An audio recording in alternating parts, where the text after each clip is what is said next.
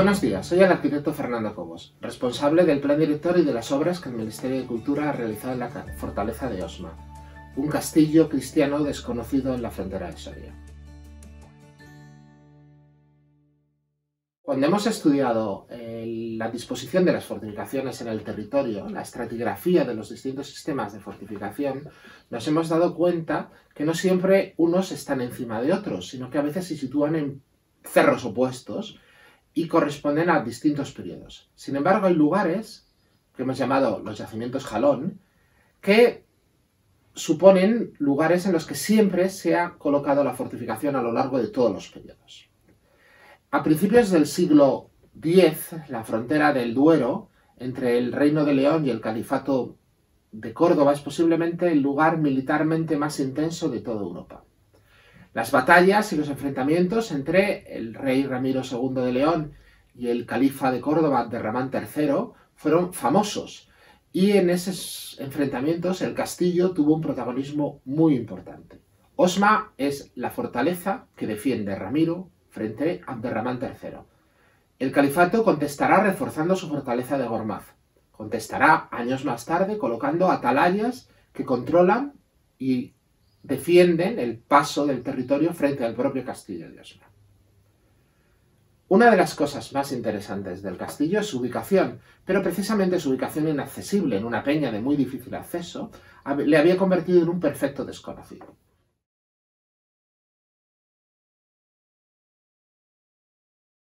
Fue a partir de 2006, con el plan director, cuando empezamos a releer el monumento, empezar a entender el verdadero valor y significado histórico que tenía la fortaleza. Fortaleza que había sido estudiada otras veces, pero que nunca había sido analizada desde un punto de vista completo. La estratigrafía arquitectónica del edificio documentó un castillo extraordinario que sin embargo guardaba algunas sorpresas. La principal y más interesante es que el castillo lo que hoy conocíamos como castillo se adosaba contra una estructura previa que había desaparecido. Había al menos dos torres anteriores a los restos que teníamos que ya no estaban. El primer recinto que pudimos documentar, que correspondía con las torres que habían desaparecido, es el que posiblemente construyó el conde de Castilla y que fue arrasado por Abderramán III. Por tanto, lo que hoy conservábamos era el segundo recinto, es decir, la construcción de Ramiro II, la del castillo que resiste a Abderramán III a mediados del siglo X. Podemos leer en el monumento, y esto era de los grandes valores que tenía el castillo de Osma, las distintas etapas constructivas, desde el castillo primitivo de Ramiro II hasta los forros irrelevantes que se suceden, seguramente, creemos ahora, por Almanzor y por Fernando I. Una singularidad importante del castillo era la presencia de unas cámaras de tiros en la parte baja de los muros, donde aparecía una saetera con un canal de disparo especialmente diseñada para que los miles de arqueros musulmanes no pudieran invocar la defensa cristiana. Estas saeteras, tapadas en la Baja Edad Media, y que nosotros nos encontramos completamente ocultas, eh, respondían a una tipología absolutamente extraña y original, y constituye uno de los elementos clave en la, el desarrollo y el entendimiento de una fortaleza que era en su momento el hito tecnológico de la defensa cristiana frente al Islam.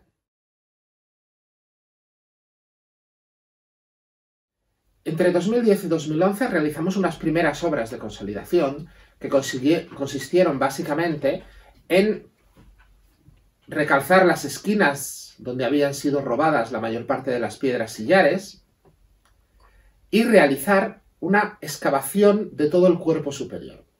Esta excavación, junto con las que realizamos después en la segunda fase, han permitido describir un proceso evolutivo extraordinariamente interesante en la fortaleza.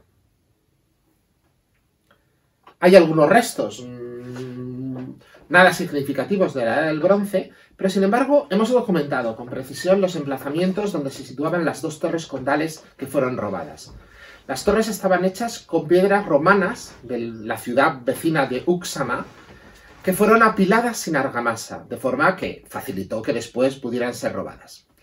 Estas estructuras se pueden perfectamente identificar en el, edificio actual. También hemos documentado con precisión todo el sistema de construcción de la época de Ramiro Y la excavación permitió descubrir por el interior del castillo las bocas de las cámaras de tiro que habían sido tapadas en, finales del siglo XIII, principios del siglo XIV, cuando evidentemente ya no eran útiles para enfrentarse a los inmensos ejércitos califales. La excavación, con la recuperación de estos elementos, nos ha permitido también entender los procesos de añadido, que se produjeron después del castillo de Ramiro II. El más interesante es el forro de una de estas torres condales, que no debía estar en muy buena situación, que eh, fue hecho seguramente en época de Almanzor, por la época del aparejo, y que después fue relevantada en la época de Fernando I, construyéndose un almenaje que remata todo el, todo el edificio. Este almenaje o relevante de la época de Fernando I se veía claramente en el estudio de paramentos del muro oeste. Sin embargo, durante la excavación hemos sido capaces de documentar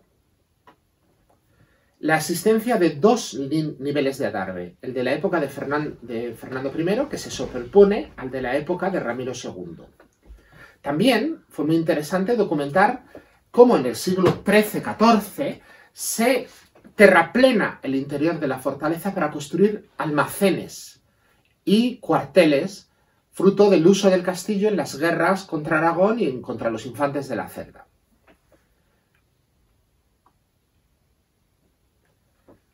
De esta forma, eh, cuando uno entra ahora al castillo, puede pisar dos niveles de uso distinto. El de los almacenes del siglo XIV y el inferior que hemos excavado de las saeteras del siglo X.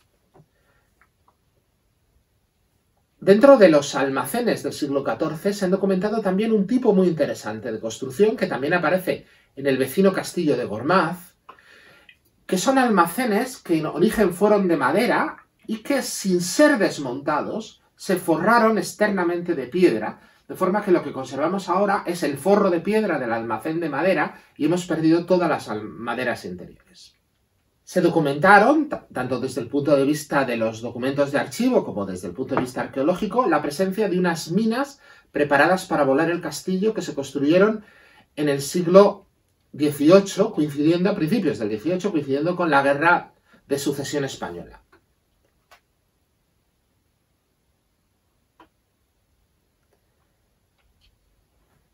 Finalmente, la excavación puso de manifiesto que cuando se desmontan las dos torres para construir los cimientos de la catedral en el siglo XVIII, hay un momento en el que no se necesitan más piedras y las piedras desmontadas de la torre superior quedan apiladas en el castillo, estando hoy en día preparadas para salir a la obra de la catedral, pero no llegaron a salir.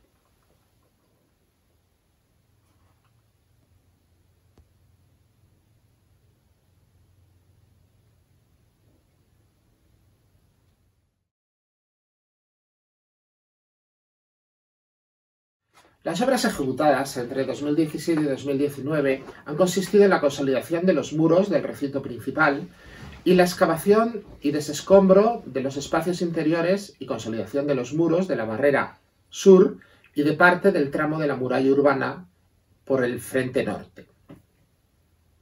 La actuación dividida en cuatro áreas ha dado resultados muy interesantes y muy distintos en cada una de ellas. En la barrera sur aparece una necrópolis pleno medieval. Suponemos que corresponde a los habitantes de la Puebla medieval de Osma, que se enterrarán fuera del recinto amurallado, puesto que la barrera es una construcción del siglo XIV y es posterior al propio cementerio. También en la vertiente del río Avión ha aparecido un cuartel que se corresponde con los cuarteles construidos en las guerras de los siglos XIII y XIV. Sabemos que es un cuartel porque tenía en un extremo unas letrinas comunales. El desescombro de la barrera occidental ha supuesto quitar toneladas de tierra que tapaban los muros por el interior y que habían provocado el derrumbamiento de estos, ya que no podían resistir los empujes de las tierras. El desescombro ha ido añadido a la apertura de las salidas originales de agua, las atarjeas originales que sacaban el agua, de forma que el empuje del agua y de las tierras ha desaparecido. También se ha ejecutado la reposición de parte de los muros caídos, especialmente de aquellos muros que habían perdido el chapado exterior. En el cuerpo interior se han rematado las estructuras de fábrica, pero sin rehacer ni almenas, ni petos, ni ningún elemento formal. Con las puertas principales de la fortaleza teníamos un problema. Hicimos un estudio y descubrimos que podrían haber sido perfectamente tanto de arco de medio punto como de arco de herradura.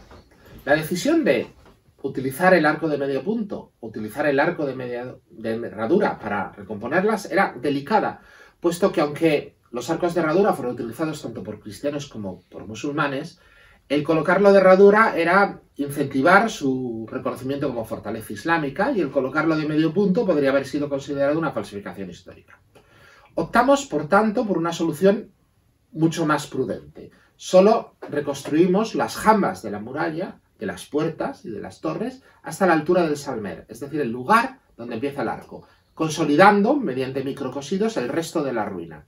De esta forma no malinterpretamos o no conducimos a malas interpretaciones a los visitantes del castillo y a los estudiosos de los próximos siglos.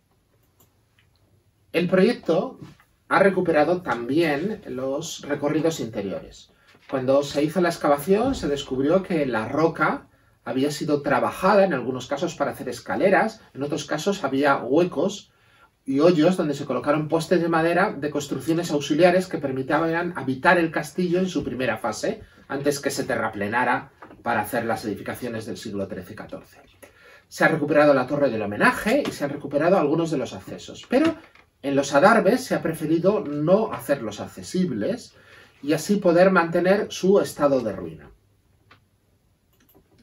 La intervención también ha sido extraordinariamente respetuosa con la lectura estratigráfica. Los elementos principales de esta lectura han sido identificados, dibujados y respetados en el rejuntado de las fábricas, de forma que la lectura pueda seguir siendo posible después de la intervención. Otro aspecto interesante es qué hacer con la parte de los muros y las torres robadas, las que pertenecían a la fortaleza condal, las que eran de piedras romanas que se llevaron para el cimiento de la catedral. Allí se optó por recomponer su traza con una estructura de madera que sirviera no solo para cerrar el castillo, sino para permitir entender ese lugar como parte del sistema defensivo. Hemos tomado la decisión de rehacer los muros y las torres, al menos la traza de los muros y las torres desaparecidos, con una estructura de madera, con un paseador de madera que respeta escrupulosamente las huellas de apoyo de la roca, pero al mismo tiempo traslada al visitante la existencia de estas estructuras que eran prácticamente irreconocibles antes. La intervención final ha conseguido que el castillo conserve todos sus valores documentales, pero al mismo tiempo el visitante podrá entenderlos y comprenderlos, junto con una señalización que se ha colocado explicándolos, y entender también la enorme trascendencia que la historia de esta fortaleza tiene para comprender la reconquista española en un periodo tan crucial como el siglo X. Muchas gracias y espero que les haya gustado.